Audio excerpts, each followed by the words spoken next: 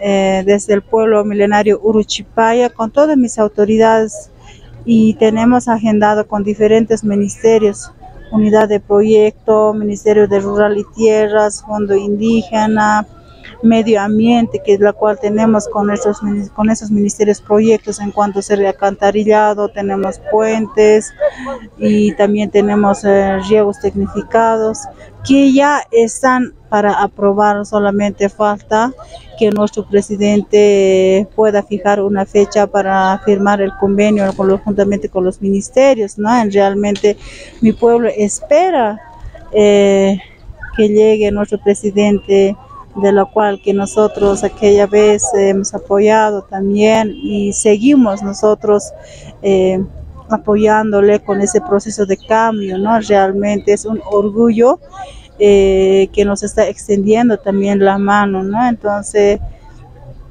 a eso hemos venido nosotros, eh, yo creo que nos van a dar también las respuestas favorables que ya fijar una fecha, ¿no? Porque nosotros a eso venimos, porque la verdad a veces nos cuesta trasladar aquí, pero le agradecemos que nos extiende la mano y nos, nos reciba las puertas abiertas, ¿no? De ese lado estoy súper agradecida para nuestras autoridades, ¿no?